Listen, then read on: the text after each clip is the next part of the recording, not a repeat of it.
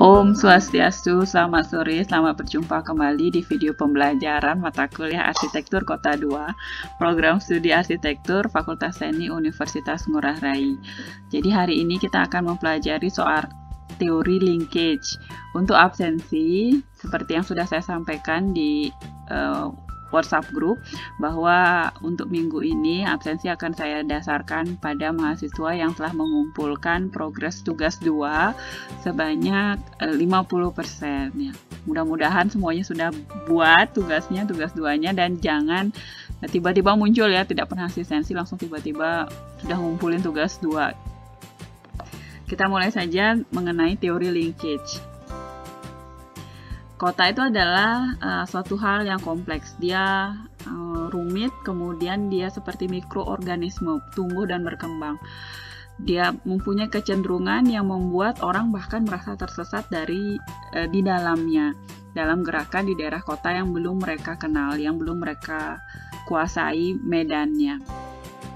Hal ini terjadi uh, khusus pada daerah-daerah yang tidak mempunyai linkage setiap kota mempunyai banyak fragmen, yaitu kawasan-kawasan yang berfungsi sebagai beberapa bagian tersendiri dalam kota. Walaupun identitas serta bentuk massa dan ruang fragmen itu bisa tampak jelas pada perkotaan, orang masih sering bingung saat bergerak di dalam suatu daerah yang belum cukup mereka kenal. Teori linkage ini adalah upaya agar manusia atau pengamat perkotaan atau penikmat perkotaan itu tidak merasa tersesat, tidak merasa terasing pada wilayahnya. Linkage adalah garis semu yang menghubungkan antara elemen kota yang satu dengan yang lain. Jadi kalau kamu ingat uh, teorinya Kevin Lin soal image of the city, ada nodes, node satu dengan nodes yang lain, distrik satu dengan distrik yang lain. Itu elemen menghubungkan, penghubungnya itu. Garis kota ini bisa berbentuk jaringan jalan, jalur pedestrian, ruang terbuka yang berbentuk segaris, dan sebagainya. Teori linkage termasuk pengorganisasian garis penghubung yang menghubungkan bagian-bagian kota dan, dan desain spasial datum dari garis bangunan pada ruang. Spasial datum itu adalah Contohnya sideline, arah pergerakan, aksis maupun tepian bangunan atau building edge, yang secara bersama-sama membentuk suatu sistem linkage dalam sebuah lingkungan spasial. Datum dapat diartikan sebagai suatu garis, bidang, atau ruang acuan untuk menghubungkan unsur-unsur lain di dalam suatu komposisi. Dalam lingkungan perkotaan, karena suatu datum atau kesamaan yang bersifat spasial akan berfungsi sebagai landasan tertentu. Contoh datum yang bersifat spasial adalah sebuah garis-garis lahan, aliran gerakan yang diarahkan, sebuah sumbu yang bersifat organisasional, atau sebuah sisi kelompok bangunan. Linkage perkotaan dapat diamati dengan cara dan pendekatan yang berbeda. Tiga eh, pendekatan linkage perkotaan yaitu visual, struktural, dan bentuk yang kolektif. Visual ada lagi, struktural ada lagi, dan kolektif ada lagi. Linkage visual. Linkage visual, dua atau lebih fragmen kota dihubungkan dalam satu kesatuan secara visual mampu menyatukan daerah kota dalam berbagai skala.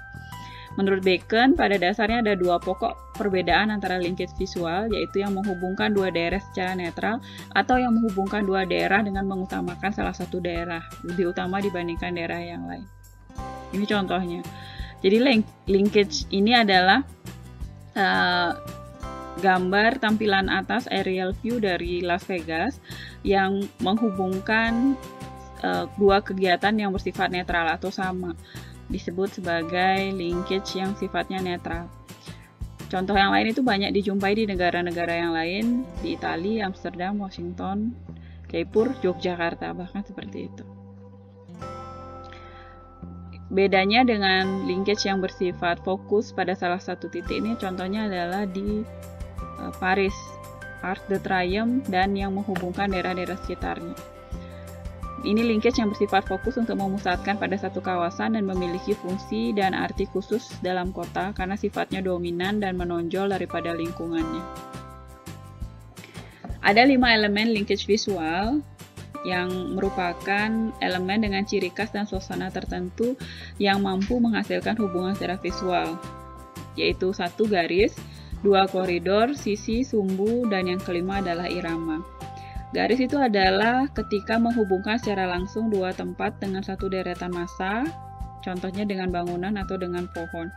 Koridor itu dibentuk dengan dua deretan massa, bisa bangunan atau pohon yang membentuk sebuah ruang.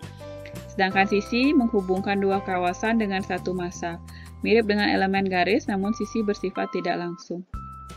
Kemudian yang keempat, sumbu itu mirip dengan elemen koridor, namun dalam menghubungkan dua, dua daerah lebih mengutamakan salah satu daerah saja. Sedangkan linkage visual yang sifatnya irama itu menghubungkan dua tempat dengan variasi massa dan ruang.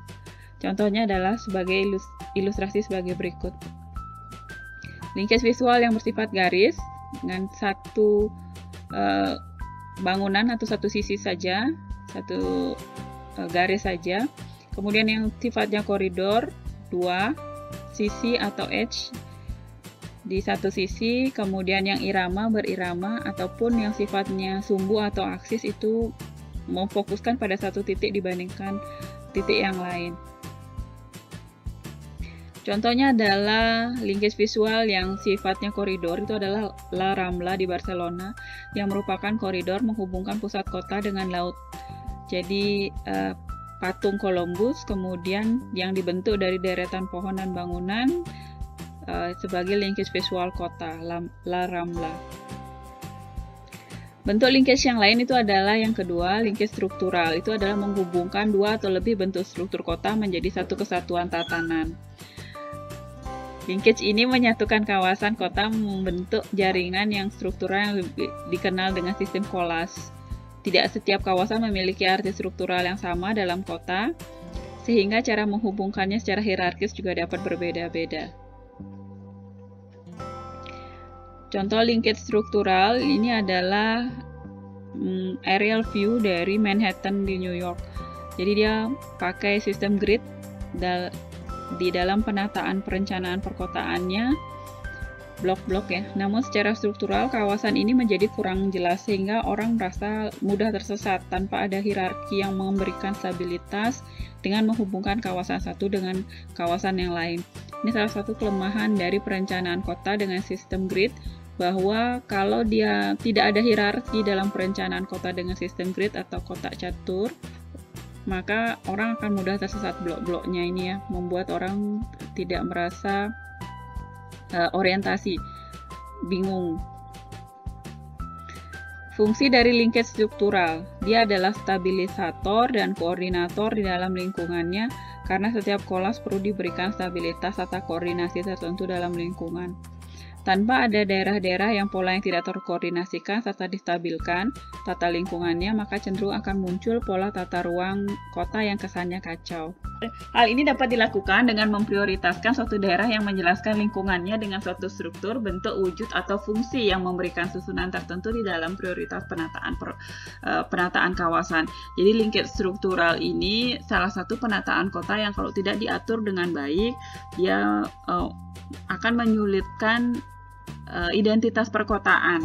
Penting bagi kamu kalau merencanakan lingkup struktural ini memiliki uh, hierarki. Ada tiga elemen lingkup struktural. Yang pertama adalah tambahan, sambungan, dan tembusan. Tambahan itu melanjutkan pola pembangunan yang sudah ada sebelumnya. Sambungan itu memperkenalkan pola baru pada lingkungan kawasan dan tembusan itu terdapat dua atau lebih pola yang sudah ada di sekitar dan akan disatukan sebagai pola-pola yang sekaligus menembus di dalam satu kawasan.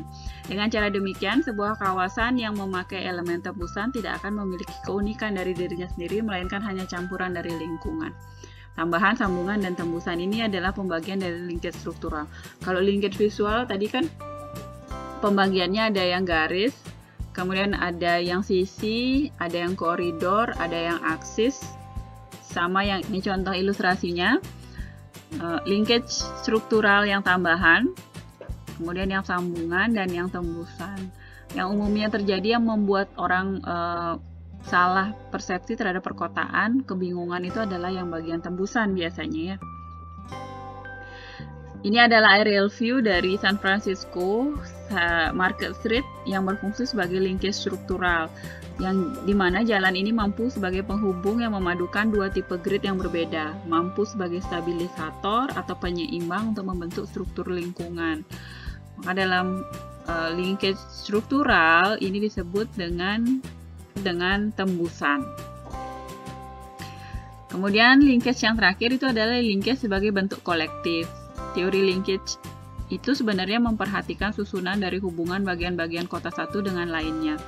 Dalam teori linkage, sirkulasi merupakan penekanan pada hubungan pergerakan yang merupakan kontribusi yang sangat penting. Sehingga linkage memperhatikan dan mempertegas hubungan dan pergerakan sebuah tata ruang perkotaan atau urban fabric. Linkage ini kan uh, jalur atau nodes atau path ya. Jadi itu yang uh, sebenarnya adalah linkage dan cara kamu mengatur nodes atau path itulah yang menjadi linkage. Ada tiga tipe linkage urban space menurut Fumu, Fum, menurut Fumi Hikumaki. Linkage itu adalah semacam perekat kota yang sederhana. Bentuk upaya untuk mempersatukan seluruh tingkatan kegiatan yang menghasilkan bentuk visi suatu kota. Teori ini terbagi menjadi tiga tipe linkage urban space, yaitu compositional form, bentuk yang tercipta dari bangunan yang berdiri sendiri secara dua dimensi. Dalam tipe ini langsung hubungan uh, ruang jelas walaupun tidak secara langsung. Kemudian linkage urban space yang kedua adalah megaform. Itu adalah susunan-susunan yang dihubungkan ke sebuah kerangka berbentuk garis lurus dan hierarkis. Dan linkage yang uh, sebagai urban space yang ketiga itu adalah group form. Bentuk ini berupa akumulasi tambahan struktur pada sepanjang ruang terbuka. Kota-kota tua dan sejarah serta daerah pedesaan umumnya menerapkan pola group form. Ilustrasinya sebagai berikut. Compositional form yang sebelah kiri megaform dan group. Jadi seperti ini. Gambar uh, super block karya Le Corbusier yang merupakan contoh dari compositional form di mana bangunan yang ada menciptakan linkage sebuah ruang berdasarkan susunan secara dua dimensi. Dan uh, rancangan ini juga banyak ditemukan di kota Chandigarh yang juga dirancang oleh Le Corbusier. Jadi kalau Le Corbusier merancang kota, umumnya dia pakai compositional form bentuk-bentuknya ya linkage urban space-nya seperti itu. Kemudian ada New Brasilia, ini adalah contoh dari megaform. Dia menghubungkan struktur-struktur yang seperti bingkai yang linear atau sebagai grid. Adanya penghubung berupa garis lengkung yang menghubungkan kota. Dan yang terakhir, contoh urban space, uh, linkage urban space itu ada di group form itu Bern di Swiss yang uh, ada di sepanjang ruang terbuka yang berupa taman dan sungai. Jadi Bern ini adalah ibu kota Swiss yang merupakan kota tua dan kota bersejarah dan kota historis ini adalah warisan dunia dilindungi oleh UNESCO. Linkage is simply the glue of the city. It is the act by which we unite all the layers of activity and resulting form in the city. Jadi e, teori linkage atau teori penghubung itu adalah hakikat utama di dalam perkotaan karena penghubung adalah tindakan yang menyatukan semua lapisan aktivitasnya serta hasilnya memiliki rupa secara fisik pada perkotaan. Daftar pustaka ada Bacon, Fumihiko, Roger Trancik ya yang menciptakan teori ini dan Markusan. Demikian materi saya hari ini mengenai teori linkage atau teori penghubung. Nanti kalau kalian berkesempatan untuk merancang sebuah perkotaan atau pada saat tugas akhir kalian, kalian juga harus hati-hati dalam ruang sirkulasi, mana yang menjadi ruang struktur atau utamanya, kemudian mana yang menjadi tambahan atau pendukungnya, agar tidak sama pentingnya sehingga nanti akan mengaburkan Eh, orientasi pada bangunan atau struktur kamu, struktur perkotaan kamu. Jika ada pertanyaan, diskusi, eh, saya persilahkan untuk disampaikan. Jika tidak, saya tutup materi hari ini. Terima kasih. Om Santi Santi Santi.